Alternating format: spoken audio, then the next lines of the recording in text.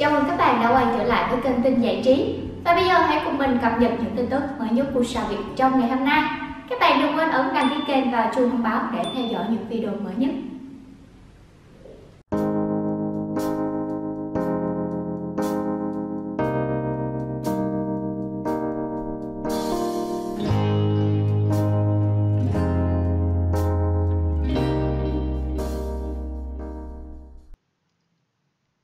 Cột bên trái là kênh của KSM, còn cột bên phải là kênh của sách C97. Hiện tại kênh của KSM là 4 triệu 610 nghìn lượt đăng ký và kênh của sách là 4 triệu 6 người đăng ký. Ở đây nó sẽ không tính những số lẻ. Dòng màu đỏ này là kênh của KSM, dòng màu xanh là kênh của sách nè.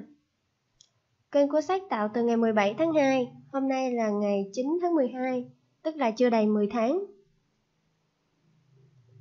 Còn kênh của KSM đã tạo từ lâu rồi, từ năm 2017. Theo trang web này thống kê thì thu nhập ước tính của KSM hàng ngày là rơi vào khoảng 260 đô cho đến 4.158 đô và một tháng là 7,8 nghìn, 124 nghìn.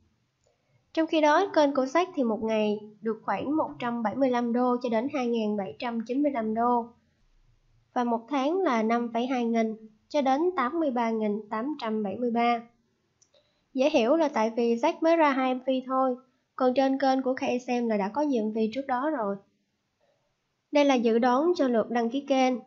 Kênh của KSM thì một ngày sẽ có khoảng 1.334 người đăng ký, và kênh của sách là khoảng 2.000 người đăng ký hàng ngày. Theo dự đoán trong tương lai thì khoảng 6 tháng sau, kênh của KSM sẽ có 4,8 triệu 52 nghìn người đăng ký. Trong khi đó, kênh của sách thì số lượng người đăng ký sẽ tăng nhanh hơn, 4 triệu 964 nghìn người đăng ký. Fan của sách vô cùng tự hào khi sách có đến 2 MV nằm trong top 10 MV nổi bật nhất YouTube năm 2020.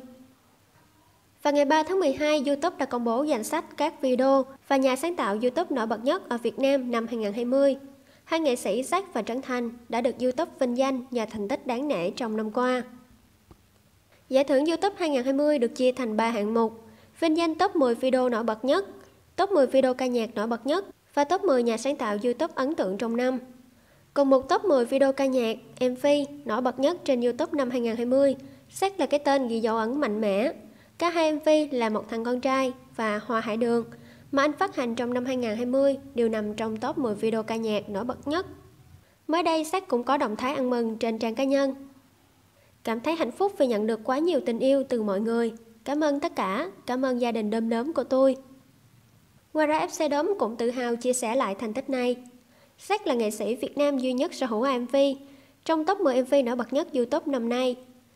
MV đứng ở vị trí thứ hai là Một thằng con trai và Hoa Hải Đường đứng vị trí thứ sáu đây là thành quả xứng đáng cho sự nỗ lực cố gắng của sách trong thời gian qua, cũng là sự công nhận chân thật nhất về những gì mà fandom chúng ta đang hướng đến và hoàn thiện từng ngày, giữ vững phong độ cùng đoàn kết hơn nữa để mang về thật nhiều thành tích và giải thưởng cho sách nhé.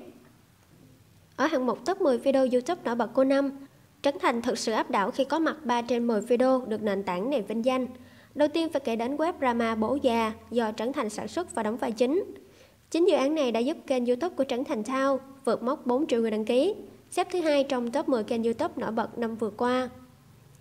Ngoài ra trong top 10 video nổi bật còn có Rap Việt và Thách thức danh hài, hai chương trình mà Trấn Thành đóng vai trò quan trọng. Hạng mục top 10 nhà sáng tạo YouTube nổi bật năm 2020, tất nhiên không thể bỏ qua một số kênh YouTube thu hút cực kỳ đông người theo dõi, như Missy Gaming, Trấn Thành Town, Chris Devil Gamer, Hậu Hoàng. Cộng đồng mạng xôn xao với đoạn tin nhắn được cho là mẹ nuôi của KSM. Chào mời VSO, nhưng bầu show chỉ xin không rep. Mới đây trên trang Facebook cá nhân của một bầu show, người này đã chia sẻ đoạn tin nhắn được cho là từ mẹ nuôi của KSM cùng dòng trạng thái khá gắt. Ế lắm sao mà chào show dữ vậy? Phải chị không là người quản lý của hai bạn đó thì em còn mời. Chị quản lý nên không mời luôn, chị mẹ nuôi quốc dân. Đoạn tin nhắn này đang gây xôn xao dư luận không ít, khi phần nào hé lộ tình trạng sâu diễn không khả quan của KSM và IBG. Rất đông cư dân mạng, chủ yếu là fan của sách, đã không từ câu hỏi này để tràn vào cà khịa KSM, nam producer có quá nhiều duyên nợ với thần tượng của mình. Trong đoạn tin nhắn được cho là mẹ nuôi của KSM, bà đã liên tục nhắn tin cho đơn vị bầu show này với mục đích chào mời cho con trai nuôi và cộng sự ABG đi diễn tại các lớp do người này quản lý. Người được cho là mẹ nuôi của KSM liên tục gửi hình ảnh các poster đi diễn, các thông tin khen ngợi bộ đôi, cũng như các clip trình diễn của KSM và ABG đến bầu show. Tuy nhiên có thể thấy các tin nhắn này đều không được hồi đáp.